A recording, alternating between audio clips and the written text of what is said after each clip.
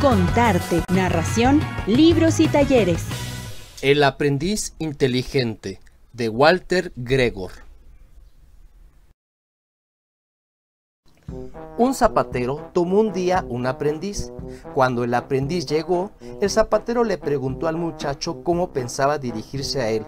Oh, le llamaré amo. No, me llamarás amo de todos los amos. ¿Y cómo llamarías a mis pantalones? Pues le llamaría pantalones. No, deberás llamarlos excelsas vestiduras. ¿Y cómo llamarías a mi esposa? La llamaría señora. No, debes llamarla bella dama permumadam. ¿Y cómo llamarías a mi hijo? Pues lo llamaría Juanito. No, debes llamarlo Juan el Grande. ¿Y cómo le dirías al gato? Pues Minino. No, debes llamarlo Gran Garra Veloz. ¿Y cómo llamarías al fuego? Fuego. No, debes llamarlo Luz de la Vida.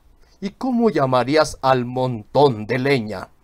Pues montón de leña.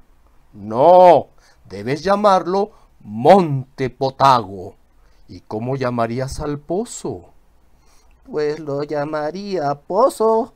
No, debes llamarlo Fuente Cristalina. Y por último, ¿cómo llamarías a la casa? La llamaría casa. No, debes llamarla Castillo de Mungo. El zapatero, después de dar esta lección al aprendiz, le dijo que el primer día que pudiera usar todas aquellas palabras en una sola oración y pudiera hacerlo sin cometer errores, su aprendizaje habría terminado. El aprendiz no tardó mucho en crear la oportunidad para usar todas las palabras. Una mañana se levantó de la cama antes que su amo y encendió el fuego. Luego ató algunos pedazos de papel a la cola del gato y arrojó al animal a la lumbre. El gato salió corriendo con los papeles encendidos y fue a caer al montón de leña que se incendió.